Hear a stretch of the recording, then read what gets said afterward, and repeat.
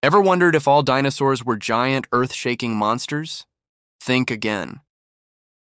Let me introduce you to one of the most fascinating and smallest dinosaurs ever discovered the Compsognathus. Imagine a creature from the late Jurassic period, about 150 million years ago, that was no bigger than a modern day chicken. It's hard to picture, right?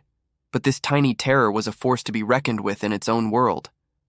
Compsognathus, whose name means elegant jaw, was perfectly designed for a life of speed and agility. It had a super lightweight, slender body, weighing only about 3 kilograms or 7 pounds. This wasn't a slow, lumbering beast, it was a nimble sprinter. A long, whip like tail stretched out behind it, acting as a perfect counterbalance, allowing it to make sharp turns at high speed without tumbling over. And that elegant jaw? It was filled with small, sharp, and slightly curved teeth, ideal for snatching and holding on to wriggling prey. So, what did this pint sized predator eat? It wasn't tackling a triceratops, that's for sure. Instead, Compsognathus was an expert hunter of the small and speedy. Its diet mainly consisted of insects, tiny mammals, and especially fast moving lizards. How do we know this with such certainty? Well, science has given us an incredible gift a time capsule in stone. One of the most famous Compsognathus fossils ever found had the perfectly preserved skeleton of a small lizard right where its stomach would have been. This amazing discovery was solid proof that Compsognathus was a skilled and active hunter, not just a scavenger.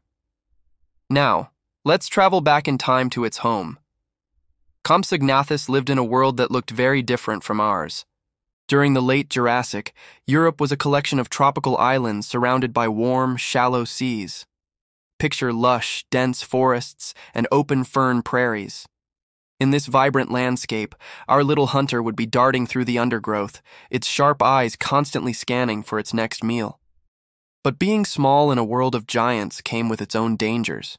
While Compsognathus was a hunter, it was also on the menu for larger carnivores like Allosaurus. Every moment was a balancing act between hunting and hiding, staying alert to every rustle in the leaves. The Compsognathus story shows us that in the age of dinosaurs, size wasn't everything. Speed, intelligence, and agility were just as crucial for survival.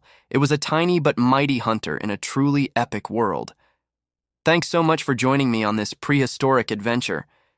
If you enjoyed learning about the amazing Compsognathus, please hit that like button and subscribe for more deep dives into the world of dinosaurs. See you next time.